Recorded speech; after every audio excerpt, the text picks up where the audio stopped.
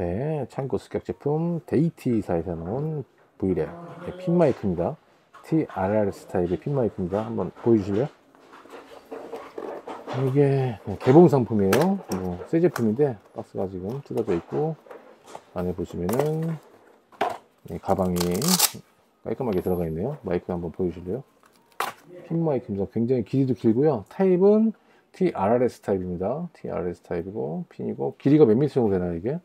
한 3m 정도 될 것 같은데요. 네, 그죠? 3m 정도 될 것 같습니다. 잠깐만요. 안 써있나요? 길이? 네. 여기 써있네. 5m네, 5m. 여기요. 아.